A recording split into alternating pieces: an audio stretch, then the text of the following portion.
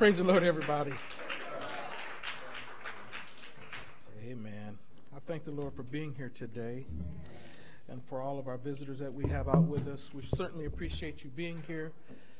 Know that you can be somewhere else. And we're grateful that you chose to come and worship the Lord with us this morning. And just as a side note, uh, and it's something that I really don't do, but I just feel compelled this morning. We're so glad to have Cecilia back with us. Amen. Welcome home. She's been gone for a while, and not even in our country, but I'm, I'm sure she's made some memories that'll last a long, long time, the rest of her life. Amen. Just glad that she came back. hint, hint, hint. Uh, stay, stay here. Oh, y'all don't even know what I'm talking about. I know what I'm talking about. Just, just tell her, glad you back home. Amen. If you open your Bibles to the book of Philippians, you know, Jesus said, and a child shall lead them. She's saying amen. What y'all doing? In the book of Philippians, chapter number two. I ask for your patience this morning with me. I'll treat a little bit. Amen. Philippians chapter 2 and verse number 21 says, For all seek their own, not the things which are Jesus Christ. And we'll just stop right there. And I would like to speak from the subject of what are you seeking after? The Apostle Paul was a founder of many of our New Testament churches that we have. And he dealt with a lot of the issues that came about from people going from an old way of doing things to a new way of doing things. And we see a lot of that oftentimes with people who first get the Holy Ghost and have never been around church or have been around other churches that do things differently. And there is a learning curve that goes along with the newness of life, as the Bible calls it. There is a period of time that it takes to find out what God is expecting from us. And if we are not careful, as older people, we can become mean and harsh to young folks that just get saved, or to old folks that just get saved, or to middle aged folks that just get saved and are trying to figure their way out. But I've never seen a parent that gets frustrated with their child trying to learn how to walk and tell them you ought to know how to do it by now. You've been trying for a few months. I've never heard any parent do that. And just like a child learning to walk, there is a way for God's people to learn how to walk in the newness of life. And it takes some time. There's some stumbling and falling that takes place. But it takes time. I hope, I hope the older folks that's been saved for a while is catching on to that. Quit beating up on the younger folks. Let, let, let them learn how to walk. It takes time for a child to learn how to talk. They say words wrong. Sometimes they mispronounce the right word. Sometimes they say it in the wrong context. But it takes them some time to learn how to talk. Now, if I can say it this way, it's not good parenting when your baby is baby talking and you baby talking back with them. And all you're doing is reinforcing bad talking. When a child is mispronouncing a word and you think it's cute, so you start mispronouncing it with them, You're just teaching them how to mispronounce a word. That's all. But now there's the same kind of a connection in our spiritual walk when you see somebody that's newly saved and they kind of say something out of order and you think it's cute and you just want to keep on bringing it up and how funny it was, they think that it's cute. Right, right. So we have to be careful in that way also. Okay. Not to beat them up, but don't encourage them to keep doing wrong either. All right, I'm through with Saints meeting. Paul had to deal with all of that because it was all new. But it's not something that's new to the human condition, it's not something new to people. I'm not just talking about the things that have captured our imagination. We have computers that we can do more with now than we have ever been able to do in human history. Right, right.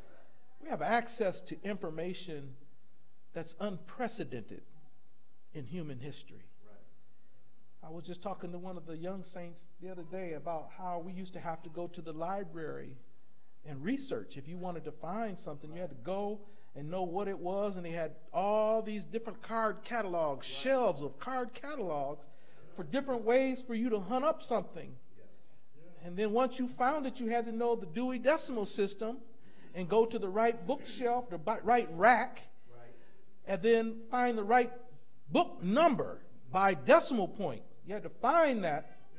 Then once you got the book, you had to start researching in the book to find what you was looking for. But now we just pull our phone out of our pocket and Google it and you can get the right answer along with a thousand other wrong answers. But information is there. Smartphones. I mean, we, we can be so distracted with our phones. It, just go into a sit down restaurant and look at the tables. You see folks sitting around, they ain't talking to each other. They're sitting and texting. They, they're looking up stuff. They're, right. we have we have kind of dummied down human relationships. Right. Sometimes I'm sitting at home on the couch reading or watching something on the television, and a text message will come in is from my wife, and she's sitting right by me.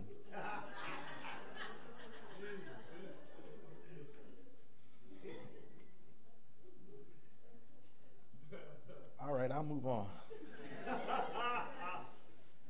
We have smart TVs today where it doesn't play just television, it'll go on the internet and look up programming for you. You can get YouTube and Hulu and any host of other programming that has television shows or movies on it that you would normally have to wait for the broadcaster to bring to you. Now you can go out and get it your own self. Kind of TV a la carte. Just pick what you want and you can watch it. I remember when it was four channels 16, 22, 28, and 34. And I remember when 34 came on the air. Ooh, look, look. The older saints ain't saying nothing. Y'all left me hanging out there. But I remember it. I remember the first when it first come on the air and Sesame Street was on 34. Yeah, that was a long time ago. But at the end of the day, 11, 12 o'clock at night, they would play the national anthem. They would give St. Christopher's prayer, and, they, and then it went static. If you were still up after that, you had best be reading something or talking with somebody on the telephone or go to bed. That was, that was our options. But now, you can go and get anything you want 24 hours a day, seven days a week. You can get anything you want and watch it. We have comfortable cars now. There was a time when having a car that had air conditioning in it was a novelty. You would have to go out for a ride and roll your windows down if you wanted to cool off on a hot summer day. But now we have comfortable cars. The seats in them with heat for the wintertime. Right. They'll cool you off now. Cars that will tell you when somebody's getting too close. Set your cruise control on, and it'll keep you a certain distance from other cars in front of you. You don't even have to think about it anymore. They practically drive themselves. Our houses are a lot nicer than they used to be. But these aren't the things that the Apostle Paul is talking about. He's dealing with human nature. We have distractions today. Right. But that's not human nature. That's something that causes us to drift away from the things of God if we're not careful. But Paul is dealing with something a little more serious than that. He's dealing with the selfishness of humanity. Parents have to teach their children to share. That's why people get so excited when they see a child offer something to someone else without it being prompted. We appraise them highly for that. We tell them, oh, you're so generous. Oh, and you thought about your brother. You thought about your sister. And we're so happy that they did that without having to be told to do it. Why? Because we know that people, even children, are selfish by nature. It's not just children, though. When Jesus was talking with his disciples and telling them that he was about to die, they were having an argument over who was going to be the most important in the kingdom. That's something I, that I struggle to get my mind wrapped around. Jesus is here telling you I'm about to suffer and die, but we fighting over who's going to be the most important afterwards. That is the ultimate in selfishness. I'm not worried about someone that's about to suffer. I'm worried about what I'm going to gain from it. You know, some folks are like that though. Grandma's dying or auntie's dying, and they over there serving them tea and trying to be as sweet as they can. And in the back of their mind, they're counting up all the different things they're going to do with the money they're about to get after they die. Some folks are like that. In the book of 1 Corinthians, chapter 10, this is the Apostle Paul also. In verse 24, he said, Let no man seek his own, but every man another's wealth. Yeah, we got to get to the point to where we stop looking out for me and start looking out right. for somebody else. But it seems like the more we have, the less we want to help other people. The more God gives us, the less we want to share. We have so much, and we are so greedy. If somebody gives you $10, it's nothing for you to say, let's go down to McDonald's and we'll split it. You get a meal and I'll get a meal. Burger King or some place where there's some fast food, you know, $10, that's nothing. Well, let somebody give you a hundred, and we kind of care. I don't know. I got some other bills I need to pay, but I'll get you a drink. Get a thousand dollars, and we won't even let nobody know that we got some money because we scared they'll ask us for a few bucks. The more we get, the more stingy we become. The Bible says that the more we have, the less we love. Put it like this, and because iniquity shall abound. The word abound means to go above and beyond, to have in abundance. Because iniquity or because people want to do wrong, since folks are doing wrong and doing it in abundance, he said, the love of many is waxing cold. It's not something that you see right away. It's not something extraordinarily quick. It's waxing means a layer at a time, just a little bit at a time, a little bit at a time until it starts to build up. Our love is starting to dwindle because we have so much. We don't visit folks like we used to because we've got so much to entertain ourselves with. We don't want to share with anybody because of how much we have. Look out for others. What are you seeking after? What are you looking for? Is my time with God spent only in what I can get from God? Why are y'all so quiet?